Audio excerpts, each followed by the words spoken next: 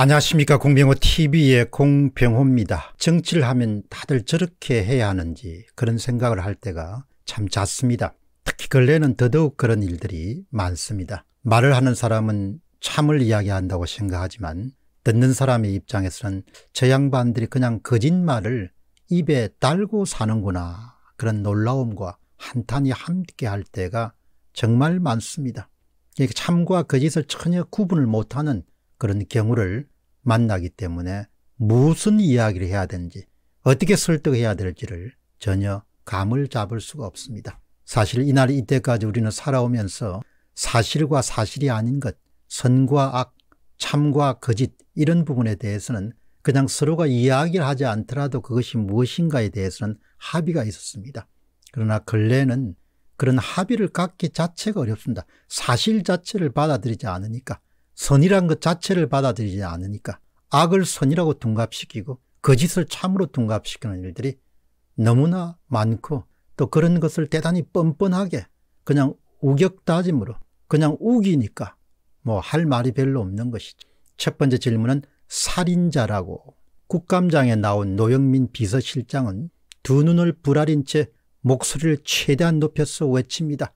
8.25 광복절 집회를 주최한 사람들을 두고 도둑놈들이 아니라 살인자입니다. 살인자 이 집회 주종자들은 도둑놈들이 아니라 살인자입니다. 살인자 이 집회 주동자들은 이렇게 외칩니다. 나이살들이 대부분 먹었기 때문에 웬만해서는 이런 발언들이 참 나오기 힘들지만 살인자라는 그런 용어가 튀어나온 겁니다. 사실 전 놀랬습니다. 광화문 집회를 주최한다고 해서 광화문 집회에 참석한 어른들이 강제적으로 강, 강화문 집회에 참석하게 된 것은 아닙니다. 자발적으로 참석한 사람들은 모두 살인에 부역한 자들이다 이렇게 정의할 수가 있습니다. 노영민 비서실장의 주장에 따르면 살인에 부역한 자, 광화문 집회를 주최한 사람이 살인자고 광화문 집회에 참석한 자들이 살인에 부역한 자들이다. 이걸 어떻게 받아들일 수 있겠습니까? 그런 상황에서 광화문 집회에 참석한 사람들이 왜 그 집회에 참석했는지를 헤아려 볼 수 있어야 되지 않는가 원인의 제공자는 누군가를 한번 생각해 보시기 바랍니다. 원인의 제공자는 어떤 책임을 져야 되는가 국민들이 생업을 팽개치고 왜 그 자리에 나오려고 하는가 그거를 우선 짚어봐야 되죠. 가장 원천적인 뿌리에 해당하기 때문에 그들 스스로 의도적으로 사회적 거리두기를 지키면서 행하는 평화적인 집회나 시위도 인위적으로 막고 있다는 것을 모르는 사람은 세상에 없지 않습니까? 사자성어에 적반하장이라는 그런 표현이 있죠. 적반하장이라는 표현은 도둑놈이 도리어 몽둥이를 들고 날뛴다는 그런 표현입니다. 잘못한 사람이 잘못하지 않은 사람을 두고 나무란다는 것 뜻하는 것이죠. 우리말에는 누운 돼지가 안전돼지 나무란다는 그런 용어하고 비슷하죠.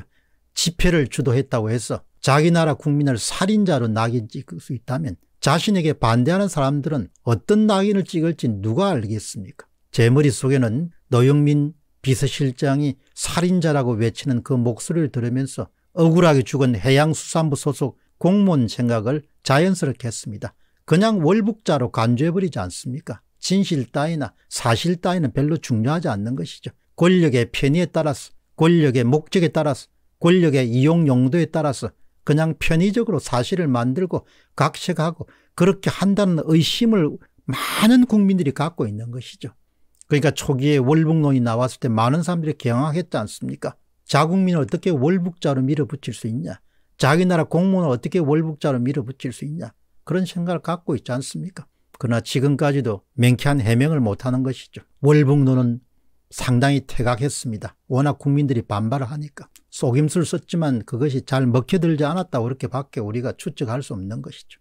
다음은 재인산성 축조입니다. 국민의힘의 박대출 의원이 국감장에서 광복절 집회 당시 경찰의 차백 차량을 가지고 광장을 메운 차백 사진을 들어보이면서 제가 보기에는 차분히 질문을 던졌습니다. 찬찬히 사진을 들어보이면서 문재인 산성을 보면 소름이 돋습니다. 많은 사람이 소름이 돋았습니다. 지금이 어느 때인데 어떻게 저런 짓을 하냐 이렇게 생각했던 사람이 많았습니다. 그러면서 문 의원이 경찰이 버스로 밀어서 집회 참가자들을 코로나 소국에 가둬버렸다 한쪽을 밀어붙였지 않습니까 정부 입장에서 안 나왔으면 좋겠지만 이미 나온 국민들까지 이렇게 한쪽으로 차를 가지고 밀어가지고 감염 위험들을 높였어야 되겠습니까 박대출 의원이 차분하게 따지듯이 이렇게 물었습니다. 그럼 차분하게 답을 하면 되죠. 그날 뭐 피, 피치 못하게 돼서 그렇게 됐습니다만은 사실 어, 그렇게 처음부터 할 의도가 없었습니다. 이렇게 해서 그냥 넘어가면 되는 거죠. 그러나 노영민 실장은 격앙된 목소리로 지금 불법 집회 참석한 사람들을 옹호하는 겁니까? 이렇게 아주 뭐 예, 음성을 높여가지고 광화문 집회에서만 확진자가 600명 이상이 나왔습니다. 광화문 집회로 7명 이상이 죽었는데 그걸 지금 옹호하십니까? 이 사람들의 논법이라는 것이 이렇게 화제를 딱 바꾸죠. 당연히 까놓고 이야기하면 검사자 수를 증가시키면 확진자 수가 늘어나게 되죠. 솔직하게 한번 봅시다. 이번에 검사자 수를 대폭 늘리지 않았습니까? 두 배, 세 배를 늘리면 당연히 확진자 수를 늘리게 되죠.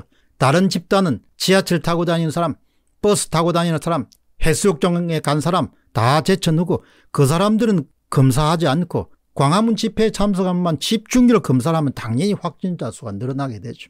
그리고 박수영 의원이 발표한 자료를 보면 광화문 집회와 확산 사이에는 별다른 관련성이 없다. 그런 이야기도 충분히 설득력이 있죠. 제인산성을 본 사람들은 당장 중국의 엄습한 천안문 광장을 머릿속에 먼저 떠올렸을 겁니다. 역대 그 어느 정권도 심지어 군사 정권조차도 대형 버스를 동원해 가지고 광장을 폐쇄시키는 그런 일은 안 했습니다. 경찰관을 동원해 가지고 그런 행동에 제한을 줬지만 버스 차벽을 만들 생각을 하지 않았던 거죠. 그 사진 한 장으로 많은 사람들이 아 한국의 민주주의가 정말 큰 위기에 처했구나라는 것을 그냥 시각적으로 받아들였습니다. 아마 앞으로 두고두고 문재인 정부 하게 되면 은그 광화문 차벽이 상징적인 그런 사건으로 아마 사람들에게 기억될 걸로 봅니다. 너무나 강력한 그런 인상을 남겼던 사건입니다. 슬픈 중국이란 그런 글을 꾸준히 기고하고 있는 캐나다의 맥베스트 대학의 송재윤 교수는 우리에게 들으라고 최근에 한 글에서 이렇게 주장합니다. 현실 정치에서 권력은 조직에서 나옵니다. 국가는 관료 조직과 군경 조직을 통해서 막강한 권력을 행사합니다. 반면 조직화되지 못한 군중은 무기력합니다.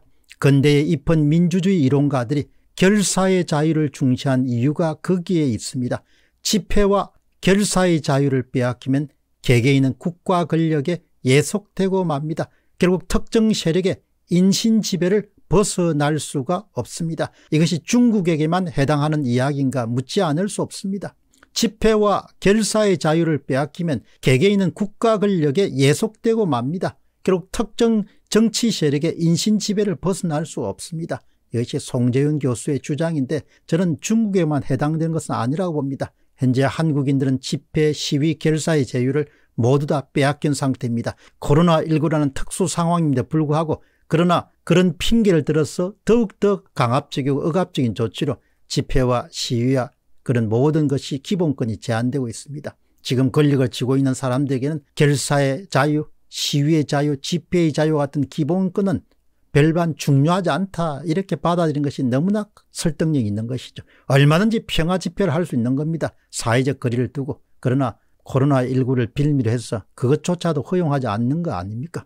국회의원들 앞에서 큰 목소리로 눈을 부라리고 살인자입니다. 살인자를 외치는 인물에게서 저는 특별한 생각을 하게 됩니다. 그런 현재 문 대통령 최지근 거리에 있는 사람입니다. 그가 그런 생각을 갖고 있다는 것은 특별한 의미를 갖고 있습니다.